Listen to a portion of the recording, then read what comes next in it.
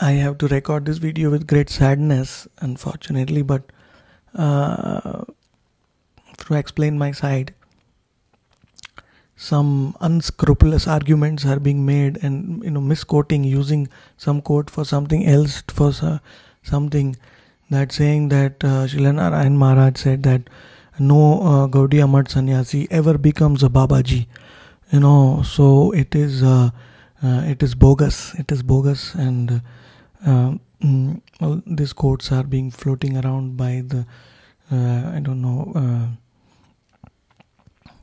uh, uh, those who think that they are the upholders of true Siddhanta without actually and mis- misapplying it to me. You know why it is misapplied to me?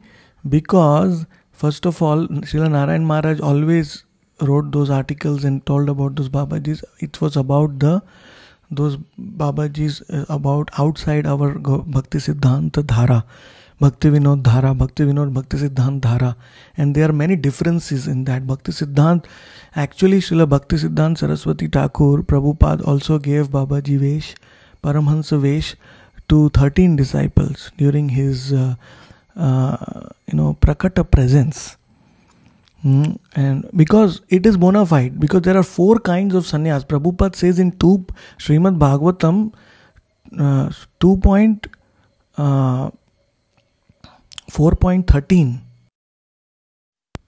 mm, yes 2.4.13 uh, purport that kutichaka bahudaka Parivrajacharya and Paramhansa are the gradual progressive stages of sannyas life.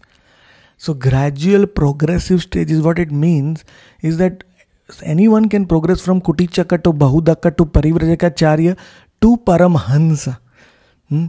So, uh, it is if one is Parivrajacharya, one can certainly go to Paramhansa. But what Narayan Maharaj was talking about, Srila Narayan Maharaj, was that because it is that Paramahansa stage taking outside of our dhara. It is not nobody from Bhakti Siddhant Sannyasi have taken outside our dhara.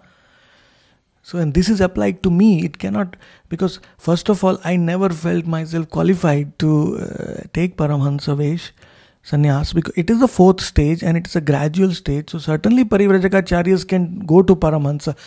How it is a gradual, how it, the four stages if the fourth stage does not exist at all, you know. It, it, it is the Shastric uh, Bhagavatam, it's from Srimad Bhagavatam.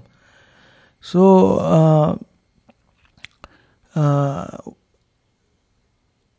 what Srila Narayan Maharaj said is not about me, it's about those who go outside our dhara to take Paramahansa Vesh. Even Bhakti Vinod Thakur took Paramahansa Vesh from Gaur Kishore Das Babaji Maharaj. You think that is also uh, bogus? Uh,